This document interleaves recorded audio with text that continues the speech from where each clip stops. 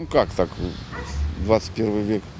Ну як так, 21 сторіччя, а немає води. Звичайно, було б взагалі ідеально, якби злив був. Тому що в основному усіх зливні ями. Ну це також 21 сторіччя.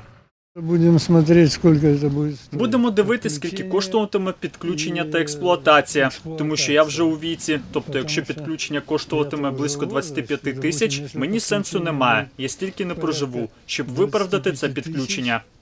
Плануємо. Так, нам треба свердловину зробити. Ми задоволені, звичайно. Плануємо, вже почали збирати гроші. Сподіваємось, що зробимо. Нам вода потрібна. Проведення води у мікрорайон важлива подія для навчальних закладів, говорить директорка школи номер 60 Наталія Боярська. Діти зможуть е, і користуватися, тому що вода, яка у нас є зараз технічна, ми фактично неї не маємо права мити посуд. Ми миємо посуд привозною водою. Застосовується вона тільки у нас е, для технічних е, нужд. У нас же ж проведена була теплосанація в школі і все опалення нове. То вже неодноразово ми е, міняли батареї. Чому міняли батареї? Тому що безпосередньо якість води наскільки страшна, що не видержує желізо. Загальна вартість проєкту 73 мільйони гривень. Частину робіт на правому березі Миколаєва планують завершити до кінця року, говорить керівник підрядної фірми Олександр Жак. Сейчас э, вода йде по одній трубе. Зараз вода йде по одній трубі, там обв'язка камер і приєднання другої труби дюкера. До кінця року завершимо. Потім введення в експлуатацію і подальше підключення будинків по магістральному трубопроводу. Наступний крок проектування розгалужуючих мереж по Варварівці і підключення всіх жителів. Після введення в експлуатацію дюкера мережі передадуть на баланс комунального підприємства Миколаїв водоканал.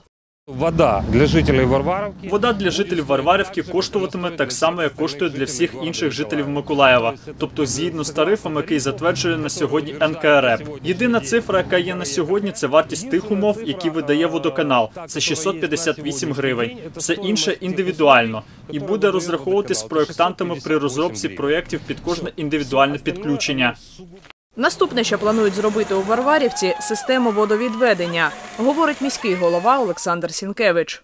Вже сьогодні розробляється ТЕО на е, розробку системи водовідведення, тобто каналізації. В наступному році плануємо е, проєктування і будемо подавати на Державний фонд е, регіонального розвитку, аби тут будувати системи каналізації. Проєкт Дюкера у Варварівку розробили таким чином, аби від нього у подальшому провести водопостачання у Велику та Малу Коренихи, розповів Олександр Сінкевич. Валентина Гурова, Сергій Коропятник. Новини на Суспільному. Миколаїв.